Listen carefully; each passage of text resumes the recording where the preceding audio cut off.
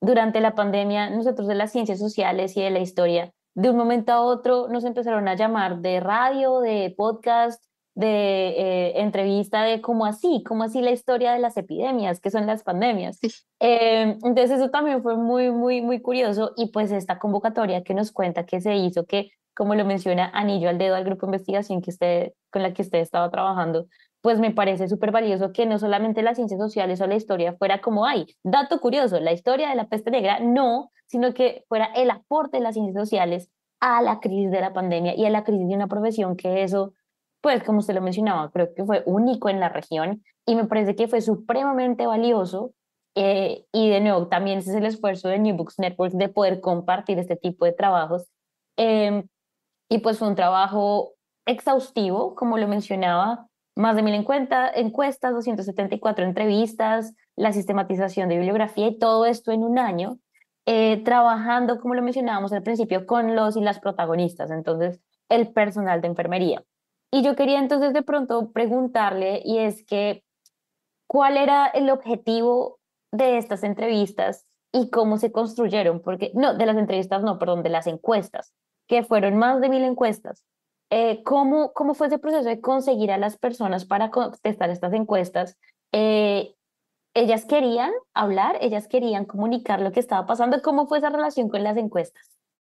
Mira, muy, muy interesante tu pregunta. Eh, mira, nuestro prejuicio como equipo, cuando empezamos a hacer el guion, el guion de entrevistas y el guion de encuestas, que fue toda una etapa ¿no? interna de, elaboración de preguntas, de puesta a prueba del guion, el guion de, las eh, encuestas tenían 103, es decir, la encuesta tenía 103 preguntas eh, de autocompletado, con opciones, la entrevista era también extensa, pero era más abierta, ¿eh? ¿no? que invitaba más al diálogo. Nuestro primer prejuicio era, estas personas están detonadas, ¿sí? No nos van a dar bolilla. Entonces, es cómo vamos a hacer para completar la muestra. Nosotros teníamos una muestra por región. Bueno, entonces empezamos ahí, ¿no? A eh, redes sociales, WhatsApp, conocidos de conocidos, y la respuesta fue inmediata, lo cual también fue muy eh, conmovedor y, muy llamativo. Es más, muchas veces decíamos, nos conectábamos con una enfermera, Estábamos en un proyecto, bla, bla, bla, ¿podemos hacerte una entrevista? Bueno, sí, yo a las tres puedo. No, no, bueno, esperá, ¿no? Lo vemos, lo planificamos, porque bueno, nosotros lo hacíamos en duplas de investigación, que también fue muy interesante eso, éramos dos, por cada entrevista éramos dos que, que, que hacíamos la entrevista, dos del equipo. Eh, eh, una para tomar nota, por si el Zoom no queda grabado, eh, y otra, bueno, preguntaba. Y bueno, entonces, no, no, bueno, espera, espera que vemos si podemos, bueno. Era una avidez por hablar, enorme.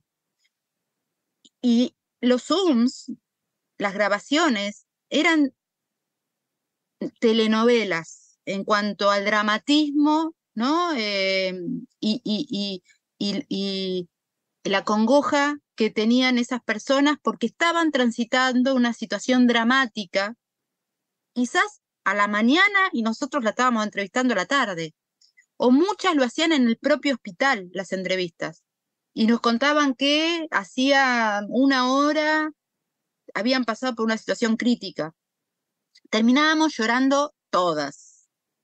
Em, lo cual, bueno, también metodológicamente ¿no? nos implicaba hacer mucho trabajo de equipo, de, cómo trabajar ese distanciamiento y cómo también contener a esas personas, porque la idea no era aumentarles la congoja ni el dolor, sino poder acompañarlas. Em, entonces, bueno, también nos demandaba una cuestión más de empatía que teníamos que, transitar en el mismo proceso de la realización de la entrevista.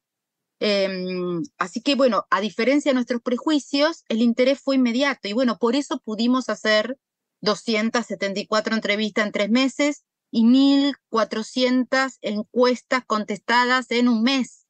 La encuesta circuló un mes y juntamos esa cantidad de respuestas. Eh, fue increíble. Fue es impresionante, o sea, es algo que es impresionante, pero es impresionante por el fenómeno que fue, ¿eh? por, el, por el fenómeno, o sea, eh, ahora no sería igual, estoy segura, o sea, ahora sería más difícil contactar a la gente, que te contesten la, encuesta, que te contesten la, que hagan la entrevista, no sería igual, es otro contexto.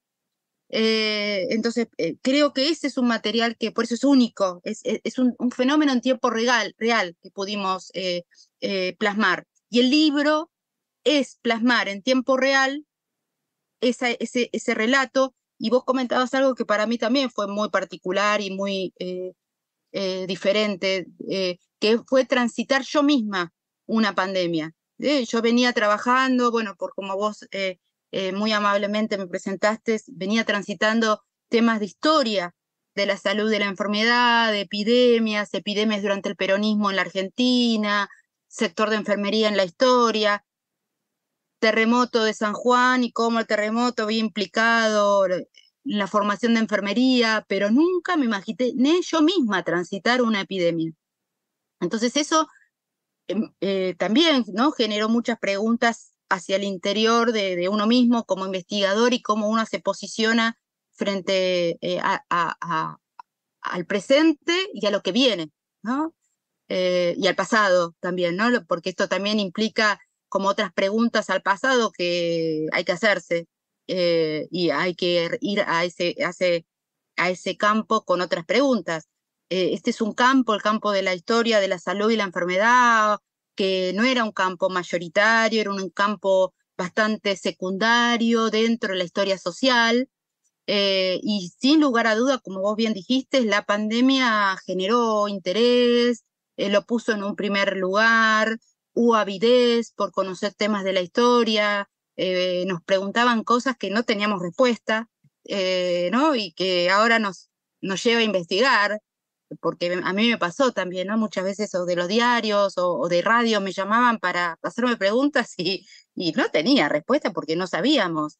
Em, pero bueno, es una invitación a, a, a, eso, ¿no? A poder pensar eh, uno mismo en relación al, al pasado y al presente como investigadora en mi caso eh, y como campo de investigación.